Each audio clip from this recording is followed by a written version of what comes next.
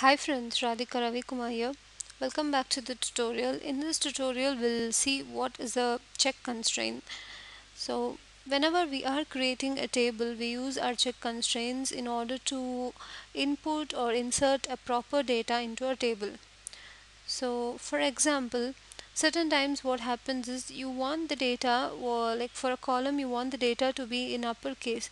So before inserting the value to that table, you can create a condition while creating the table itself so that while while doing the insertion the based on the condition that you have applied it will insert the data. So here we can see a very simple example where I'm going to create a table called uh, check tab okay? Here I'm going to say um, column name as a PID and it's going to be int and it's going to be not null okay? Then next is going to be name and it's going to be varchar of some 20 okay? And uh, and the next thing what I'm going to do is we know that the PID is an integer and not null.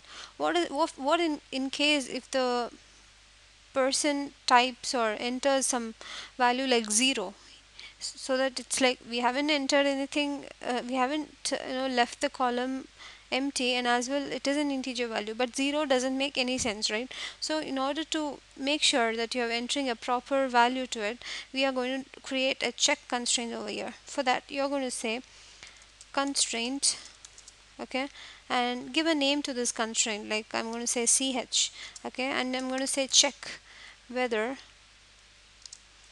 this the PID is uh, greater than 0 so if it is greater than 0 then only allow the value to be inserted into this table or else just you know throw out an error.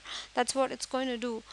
So this word is what is about uh, the check constraint so I'm going to create this table. So the table has been created. So now when I'm inserting inserting uh, insert into the table called check underscore tab and I'm going to insert a value like I'm going to say simply let me give it a 0 and I'm going to say something like uh, Tim.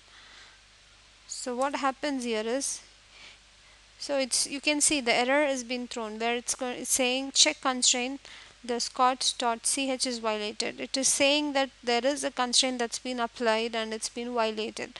So that means the 0 cannot be inserted as it is not a no proper value.